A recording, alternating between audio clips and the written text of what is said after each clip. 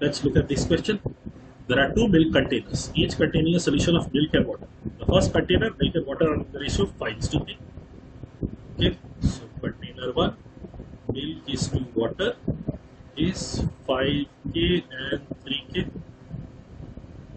Solutions from the first container and second container are mixed in the ratio 2 is to 5.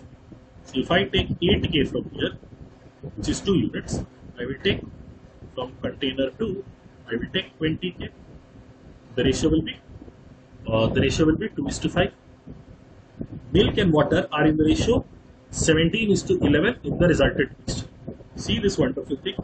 These two add up to 28, which is now being told to us as milk is 17k, water is 11k. We know out of this 17k, 5k milk came from here. So the remaining milk will come from here 12k and out of this 11k 3k water came from here. So the remaining water of 8k will come from here. This is all about container 2. This is everything that is happening in container 2.